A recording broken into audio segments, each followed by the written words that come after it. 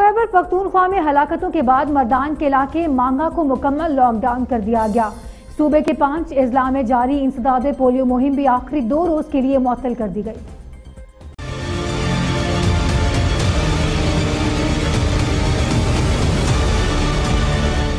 مردان میں پچاس سالہ شخص کو ایک روز قبل میڈیکل کمپلیکس لایا گیا تھا۔ سعادت خان گزشتہ ہفتے ہی عمرہ کر کے واپس آیا تھا۔ ہلاکت کے بعد مردان انتظامیہ نے منگاہ کے علاقے کو لاک ڈاؤن کر دیا، جبکہ علاقے میں آمدرفت پر مکمل پابندی عائد کر دی گئی۔ علاقہ مکینوں کی اسکریننگ کے خصوصی انتظامات کیے گئے ہیں۔